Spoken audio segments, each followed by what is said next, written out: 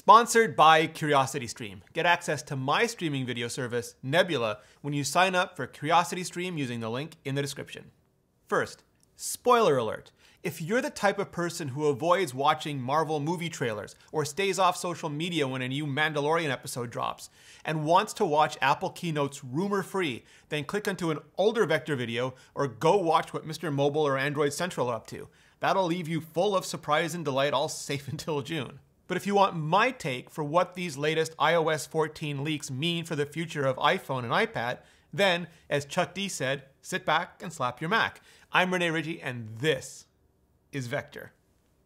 So here's what seems to have happened. An internal build of iOS 14, which previous reports have pegged as Azul, the Spanish or Portuguese word for blue, got leaked.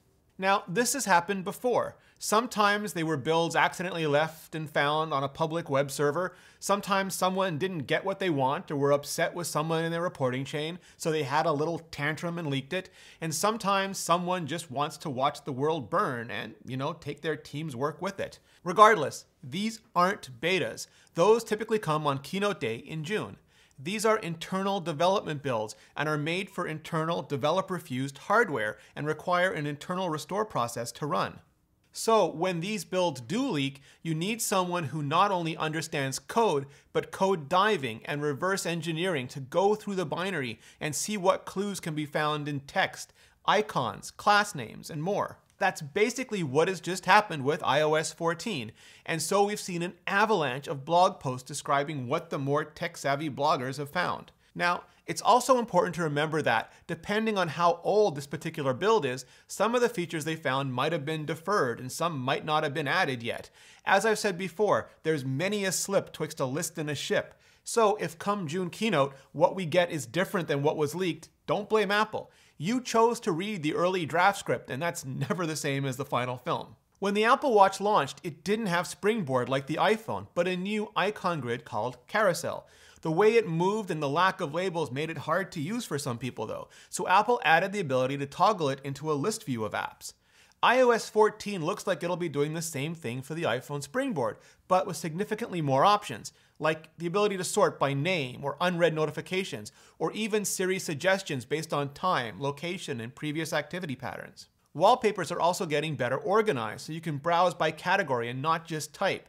There'll also be support for wallpaper apps. That would let developers offer or even sell packs of wallpapers on the App Store. That, once downloaded, would be integrated right into the wallpaper settings proper, making them easier to keep track of, browse, and use, kind of like how the iMessage sticker store works today messages could be getting at shouts. You know, like on Twitter or Slack when you put an at symbol in front of someone's handle to get their attention, which would be super useful in group messages. Also, message retraction. So if you accidentally send the wrong thing to the absolute wrong person, you can hopefully pull it back before they see it or remove it so they can't show anyone else. All your shame private. Hopefully this and all the older features like Sent with Lasers would finally then be catalyzed over to the Mac app as well, and hope beyond hope, screen sharing would be brought back from the Mac in exchange. This one is also a big one for many, real pointer support for the iPad. In other words, the ability to plug in a mouse or trackpad and use them like you would on a Mac. In iPadOS 13, Apple's accessibility team added pointer support, but it was literally that, an accessibility feature that expanded on assistive touch to help people who found it difficult or impossible to use multi-touch. And this isn't that. This is from the main OS team, and it's designed to make mouse and trackpad first-class navigational citizens, with visible and hidden states, arrow and finger modes, the whole bit. Now, some people will say the iPad isn't meant to be a MacBook and shouldn't have this type of support. They're a little much. Steve Jobs didn't want arrow keys on the original Mac because he wanted people to be forced to learn how to use the mouse. Look down at any modern Mac keyboard though, and what do you see? Arrow keys, because after a little time and a little getting used to, of course they come back. If you use your iPad as a multi-touch tablet and only as a multi-touch tablet, then you just don't care about this. You don't. Let the traditional computer nerds be happy with their pointers. They won't get in your way. But if you do dock your iPad into a keyboard, then you deserve to have a full keyboard docked experience, especially with the also rumored new smart keyboard that'll include an integrated trackpad. I all caps love the Apple Pencil, but having to switch from pencil to keyboard, field to field, is just cumbersome, which is why I'm so completely into this one. The ability to use the Apple Pencil to write any text anywhere. And just like Apple's old Newton MessagePad, the text would just turn into type where and as appropriate. Literally can't wait for this one. Home fitness is getting smarter, and not just in tracking, in presentation. Companies like Peloton have essentially strapped iPads to cycles and treadmills and offered up workout classes for you right in your own home. So, not surprisingly, Apple is working on its own version. It sounds like it's primarily geared towards tvOS and the Apple TV, but it'd be great on the iPad, even the iPhone as well. An Apple workout comes up on the screen, Apple Music plays, and your Apple Watch handles all the tracking. It's exactly the kind of integrated, differentiated, only Apple product that Tim Cook and Jeff Williams love announcing, especially given the investment the company has made into not just the health technology, but their health talent. It's also not hard to imagine an Apple Workouts Plus subscription service joining TV Plus, arcade, music, and very much hopefully an Apple Prime bundle at some point as well especially right now when damn near everything public is being canceled and damn near everyone is being told to stay at home.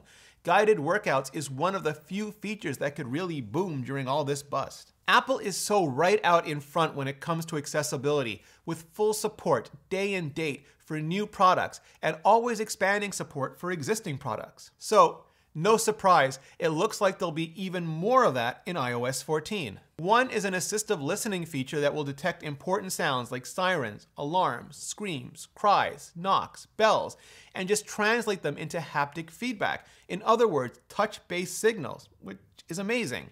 Also, air gesture recognition for people who need to basically sign to their devices, and the ability to better tune AirPods and EarPod audio to better suit different types of low hearing needs. Now, Night Shift is a feature that's been on iPhones and iPads and even Macs for a while now.